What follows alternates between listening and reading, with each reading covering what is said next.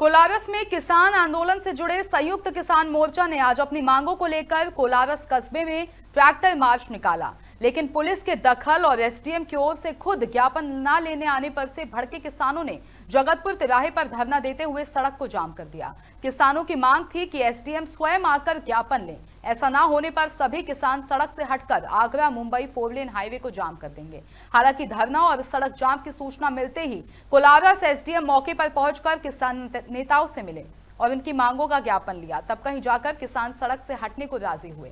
जानकारी के मुताबिक आज कोलावस कस्बे की अनाज मंडी से किसान आंदोलन से जुड़े किसानों को ट्रैक्टर मार्च निकालने के बाद एमएसपी और किसानों की अन्य समस्याओं के संदर्भ में राष्ट्रपति और राज्यपाल ने नाम एसडीएम को ज्ञापन सौंपना था। ट्रैक्टर मार्च की शुरुआत कोलारस के अनाज मंडी से हुई थी। इसी दौरान रास्ते में किसानों के ट्रैक्टरों, कोलारस पुलिस ने रोक दिया।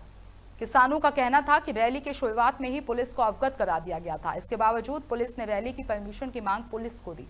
कोलारस से शाकिब खान की रिपोर्ट। हमारे द्वारा जो है एमएसपी की डिमांड को लेकर के और इसके अलावा किसानी की मांगों को लेकर के अलग अलग विषयों को लेकर दो लोगों के नाम से हम ज्ञापन देने वाले हैं। एक राष्ट्रपति महोदय के नाम से ज्ञापन देंगे और एक प्रदेश स्तरीय समस्याओं के लिए राज्यपाल महोदय के नाम से ज्ञापन देने वाले हैं। अगर एसडीएम साहब अगले 10 मिनट के अंदर अंदर ऑफ़िस में हमें मौजूद नहीं मिलते हैं तो निश्चित हम फोर लेन को जाम करेंगे।